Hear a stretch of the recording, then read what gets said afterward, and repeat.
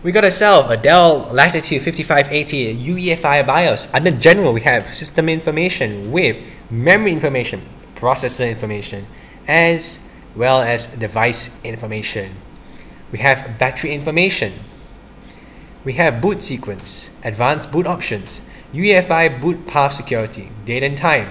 Under System Configuration, we have Integrated NIC, SATA Operation, Drives, Smart Reporting, USB configuration, Dell Type-C dock configuration, Thunderbolt adapter configuration, USB power share, audio, unobtrusive mode, miscellaneous devices. Under video, we have LCD brightness. Under security, we have admin password, system password, internal HTTP 0 password, strong password, password configuration, password bypass, password change, non-admin setup changes, UEFI capsule firmware updates, TPM 2.0 security, Computrace, CPU XD support, OROM keyboard access, admin setup lockout, master password lockout, SMM security mitigation. Under secure boot we have secure boot enable, expert key management.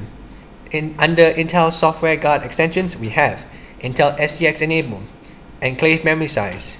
Under performance we have multi-core support, Intel SpeedStep, C states control, Intel Turbo Boost, Hyper Thread control. Under power management we have AC behavior, auto on time, USB wake support, wireless radio control, wake on LAN, WLAN, block sleep, peak shift, advanced battery charge configuration, primary battery charge configuration, Type-C connector power.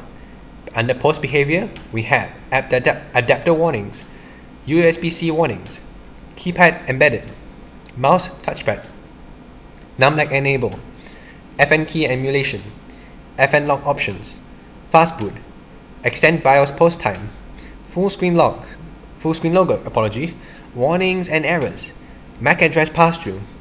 Under manageability, we have USB provision, MEBX hotkey, virtualization support. Under this, we have virtualization, VT for direct I/O, trusted execution.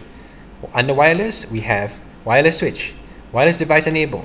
Under maintenance, we have service tag, asset tag, BIOS downgrade, data wipe, BIOS recovery.